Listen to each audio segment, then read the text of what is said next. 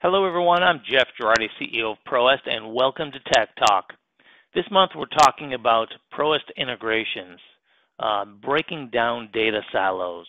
When we made ProEst Cloud about seven years ago, we made a conscious effort to bring a lot of different technologies into a single platform. By that, I mean cost estimating, digital takeoff, CRM, proposal generation, you know, no data silos between those functionalities. And once a project's awarded, where's that data going? It needs to be able to go to your project management system, to your ERP solution, um, so that you can continue using that valuable data throughout the job cycle. So I'm going to point out a couple different integrations here today. Come up to Company Setup, click on the Integrations tab.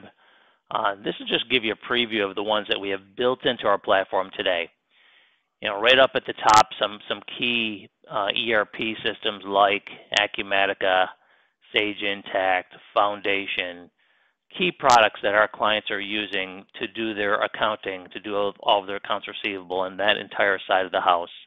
Uh, we want to make sure that once a project's been awarded, that data automatically goes over. So from an end user standpoint, you're simply utilizing ProEst, and when it's appropriate, that data will be available in your ERP solution. That's our goal. Um, also with integrations with things like Procore for project management. Again, all the data automatically goes over, automatically set up by uh, whatever your current cost coding structure is so that we have the same structure on the estimating and the project management or ERP side. And that's something that we help you through during the implementation. We want to make sure that we are a complete cycle here uh, and the data does not get stuck in ProEst. That's very important to us.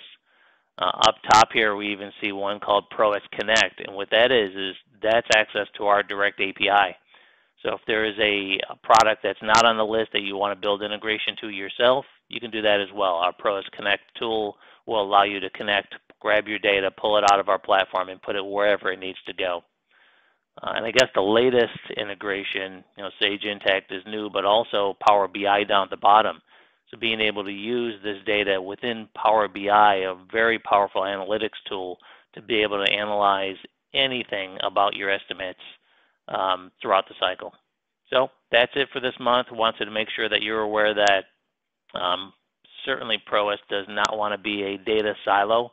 We want to make sure our data is available for other aspects of your business so that that data will be used downstream in the job cycle. Uh, that's it for this month. Uh, hope you're all well and talk to you next month on CEO Tech Talk. Thank you very much. Bye bye.